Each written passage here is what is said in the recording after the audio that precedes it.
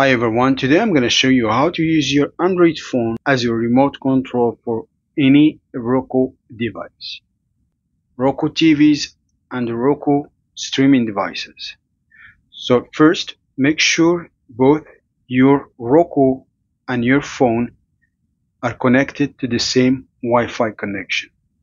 Then go to Google Play Store, App Store if you have an iPhone, go to search search for Roku app. There is only one Roku official app. You can use third-party apps, but it's not a guarantee that it's gonna work. So I'm gonna go with the Roku app official. Install it.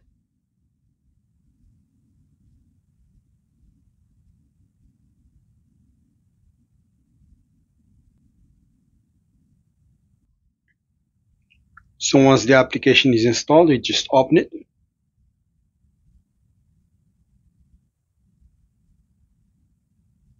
Tap continue. Next. Next. Allow. Continue as guest if you cannot log in with your uh, email address, with your Roku account just continue as guest. So I'm going to go to remote. Once you press remote, you will see your devices, your Roku devices or your Roku TV to log in. You just press your device to connect. Connect now. Allow. So this is the remote. You can also connect a wired or a wireless headphone. You can tap once to enable private listening here. As you can see the icon on my TV or turn it off. You can either connect wireless headphones or wired like this.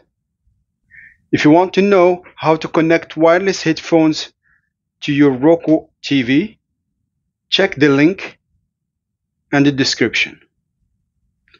So once you connect your headphones, you just press this icon here. To enable speakers on your TV, you just turn off private listening.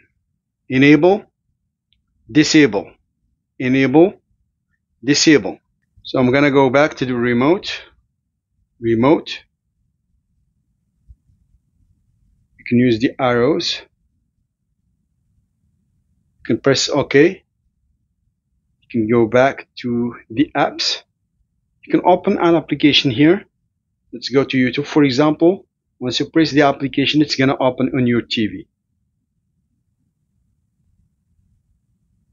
The home button, settings. You can also turn off. It depends on your Roku device. You can also turn off your Roku and turn it back on. This is the power button.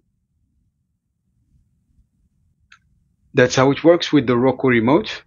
Please subscribe if it's the first time you're watching my videos. See you on the next one.